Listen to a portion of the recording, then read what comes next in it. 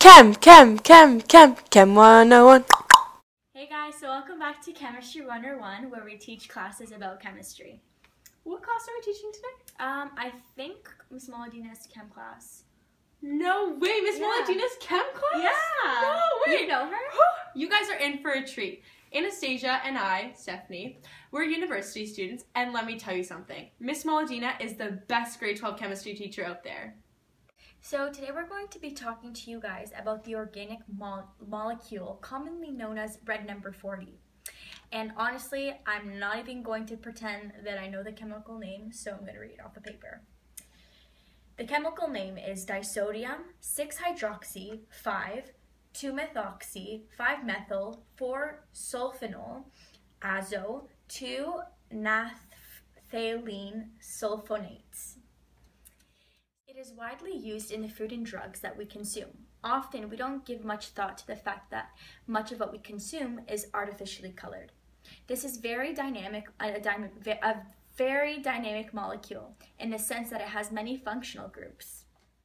So as you can see, this is a very dynamic molecule in the sense that it has many functional group. It has an azo group, two sulfo groups, a hydroxyl group, a methoxy group, three phenyl groups, also known as benzene, and a methyl group. It also has two sodium atoms that float around the molecule, which take part of the catalyst to help the molecule undergo a synthesis reaction. Some of the physical and chemical properties include starting off with physical properties, its physical state is solid powder, its color is red, it is odorless, it has a boiling point of less than 300 degrees Celsius, it has a melting point, or its melting point is 350 degrees Celsius. Moving on to the chemical properties, it has a pH between uh, between 6 and 8. Its solubility in water is 120 grams per liter. Enough with all that chemical information. Let's talk about the fun stuff.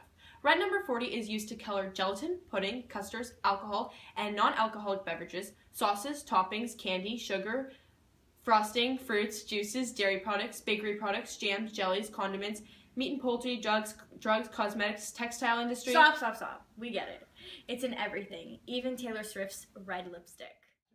But you forgot one of the scariest things. It's found in children's medication. It's not in children's medication to aid their sickness.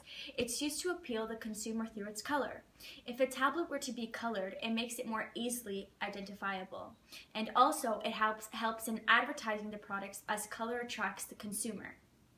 Oh, yeah, and thinking about it, most things containing red number 40 are marketed to children. How sad is that? We are poisoning them before they even begin to understand what they are consuming. This is all very true, but we have to give Miss Moladina's class some evidence or else they're never going to believe us. Oh dear, you're totally right. I'm getting so passionate.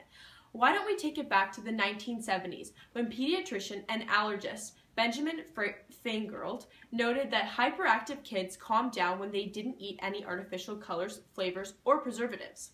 Since then, se- several studies have tried to confirm the link. They found that although although dyes don't cause ADHD, a small percentage of kids with ADHD do seem to be sensitive to the effects of food dye. I don't know about you guys, but I'm seriously regretting eating these red candies yesterday. Did you feel okay after you ate them? Yeah, why? I'm telling you, this stuff is really toxic. I found another study that showed an allergic reaction occurred in 15% of the population who consumed food products containing red number 40. In this test, 52 participants who had been suffering from hives and, hives and or rash for 4 weeks or more were placed on an elimination diet um, and all potential, sor- potential sources of red number 40 were removed. Following the three weeks, there was no more symptoms. It has also showed that it has potential to intensify symptoms of asthma, as it is a histam- histamine liberator. Wow, this is all so good. You guys you guys must be really getting turned off of factory foods. But one more thing to really nail the point home and turn you off these carcinogenic molecules. When tested on animals, it was observed that red number 40 caused bladder cancer in animals. In an experiment, rats were fed foods containing red number 40 for 2 weeks and were then bred red and were then bred. Red 40 significantly reduced reproductive success, parental and offspring weight, brain weight, and survival. Over, overall, Red 40 produced evidence of both physical and behavioral toxicity in developing rats and doses of up, up to 10% of diet. We're animals too, so shouldn't we be questioning what red, what red number 40 is really doing to us and why the government is approving it? Jeez! I think we should wrap things up here. Stop! Have you not learned anything? God, I think Miss Molodina's chem class learned more than you. Here, take an apple. Thanks for having us. And as always, you're the best.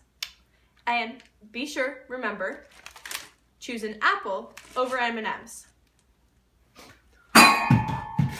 Right there, put that candy down You need to turn that frown upside down. because it has Allura Red. And if you are a child, it may mess with your head. So thank you, Chem 101, for teaching me all this awesome stuff.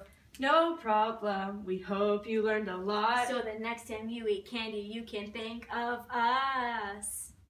Woo!